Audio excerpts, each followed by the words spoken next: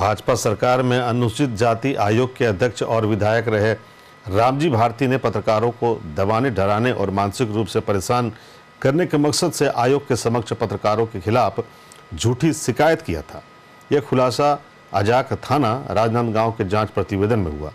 आपको बता दें कि गत दिनों रामजी भारती की धर्मपत्नी के द्वारा राजधानी रायपुर, राजनांदगांव एवं डोंगरगढ़ में प्रेस कॉन्फ्रेंस की गई थी।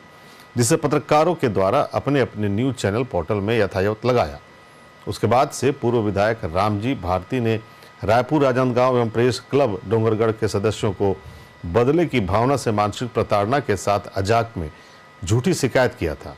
साथ ही नोटिस के माध्यम से 10 से 15 10 व 15 लाख रुपए की मांग की थी।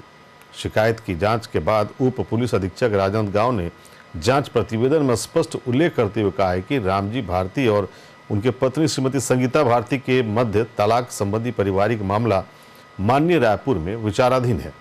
किसी प्रकार का जातिगत गाली गलौज का होना नहीं पाया गया और डोंगरगढ़ प्रेस क्लब के सदस्यों ने अध्यक्ष सोन कुमार सिंह के नेतृत्व में डोंगरगढ़ थाना पहुंचकर पत्रकारों पर झूठी शिकायत करने वाले रामजी भारती के खिलाफ कार्रवाई की मांग करते हुए शिकायत पत्र सौंपा गया है उसमें राम जी हमारा मेरा पूरा समझ जा सकता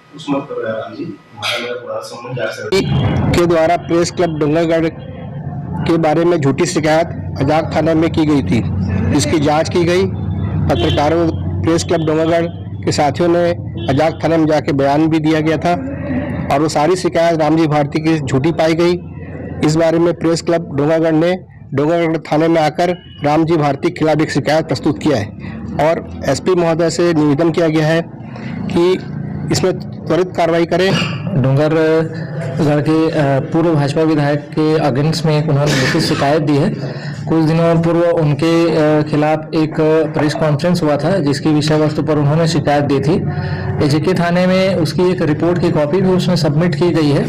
इस शिकायत के संबंध में वरिष्ठ अधिकारियों को अवगत कराया गया है और आगामी शिकायत लेकर के जाँच की कार्रवाई की जाएगी। सर अजाक थाना द्वारा जो शिकायत में प्रतिलिपि दी गई है उसमें स्पष्ट कहा गया है कि इसमें किसी प्रकार की जातिगत टिप्पणी नहीं की गई है।